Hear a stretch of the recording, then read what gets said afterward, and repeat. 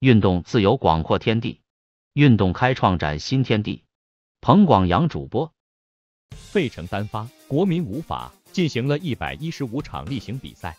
同样隶属于美国职棒大联盟 MLB 国家联会东区小组的费城人队，目前战绩是六十三胜五十二败。而华盛顿哥伦比亚特区国民队成绩单为五十胜六十五败。八月九日晚间，在宾州费城，现年三十一岁的全明星右投手罗伦佐 （Michael Clifton Lorenzen） 代表费城费城人队先发，以一百二十四球数投满九局，面对打者三十一次，送出五次三振和四次四坏球保送，成为球队历史中第十四位创写单场没有安打记录的先发投手。在费城人队的作战历史中，这是第十三次由一位投手独立完成无安打比赛，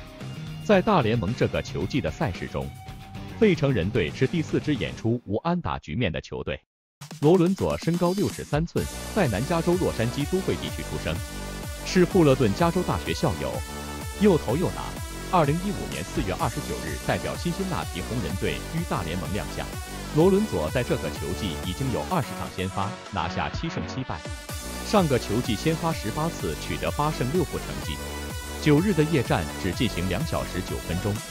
成为罗伦佐职棒生涯首次完全比赛。他的防御率三点二三，主投一百二十二点二局，送出九十三次三振，三十二次四坏球保送，责任丢到四十四分。费城人队最近一次完全比赛的演出，是于二零二二年八月二十五日夜间，在主场迎战辛辛那提红人队。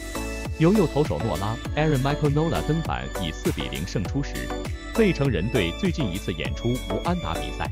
是由左投手汉默斯 （Cobert Michael Hamos） 于二零一五年七月二十五日午后，在伊利诺州芝加哥客场抗小熊队时创写。国民队于二零零五年确立主场在华盛顿哥伦比亚特区之后，至今是第一次遭逢在单场比赛连一支安打都无法获得的窘境。费城人队全场击出三支全垒打，其中担任第四棒的右外野手卡斯特兰诺斯 （Nicholas Alexander Castellanos） 在第一局下和第三局下分别挥出全垒打，第十二次成就个人职棒生涯单多轰纪录，也是生涯第一百九十九次和两百次打出全垒打。彭广阳，二零二三年八月十一日。